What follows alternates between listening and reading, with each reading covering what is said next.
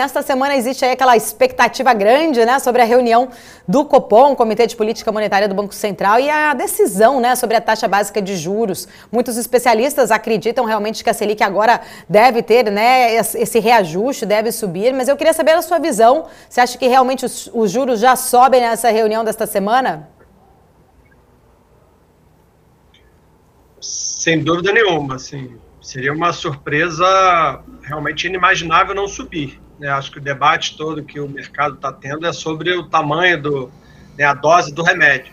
Né? O, uhum. A maior parte do mercado, nós inclusive, é, acreditamos que eles sobem 0,50, mas eu acho que eles deveriam, na verdade, subir 0,75, né?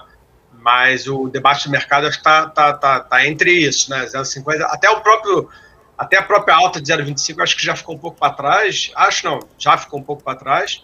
E o debate realmente está entre 0,50 e 0,75. Né?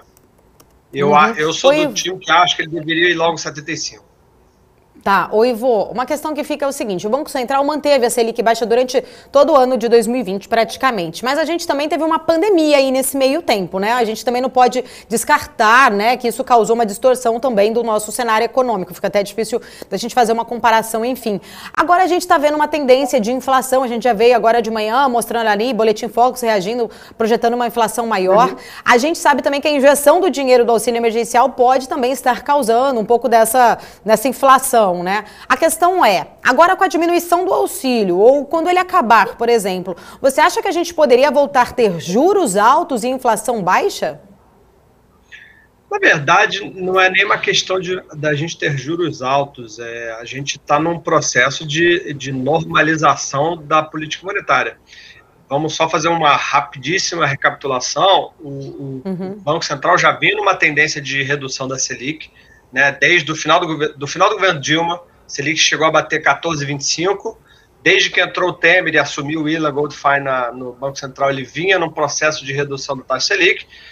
Estacionou no seis e pouco, aí depois percebeu que dava para ir um pouco mais, voltou a cair, chegaram até 4,25 e pararam.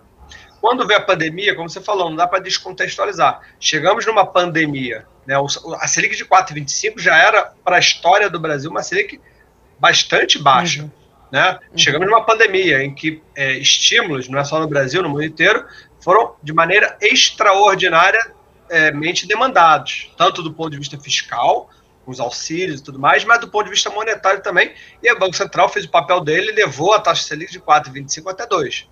No momento em que a pandemia, é verdade, o auxílio emergencial pode ser que acabe daqui a quatro meses, o próprio governo uhum. já vem uhum. falando eventualmente em estender um pouco mais, é, a vacina começa a chegar, a crítica se é rápida, devagar, não importa, mas aparentemente, por mais que a gente esteja no momento mais caótico, talvez, de casos e óbitos e tal, que obviamente a gente todo dia lamenta a quantidade de, de mortes e tudo mais, mas é, existe uma perspectiva de, de uma vacinação que, vamos lá, eu não sou especialista no assunto, eu estou mais reproduzindo o que eu estou vendo.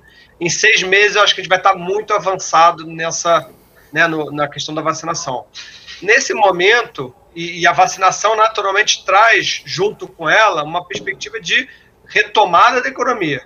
Então, é naturalmente que o Banco Central olha para esse cenário e com essa alta da inflação, como você mencionou, e fala assim: bom, vamos tirar os estímulos extraordinariamente elevados que a gente fez. A Selic era 4,25, a gente não precisa da Selic a 2. A gente pode continuar estimulando a economia, só que num patamar mais próximo do que eles consideram neutro, né? Que, que quando a taxa de juros chega num patamar em que nem estimula e nem é, atrapalha a economia.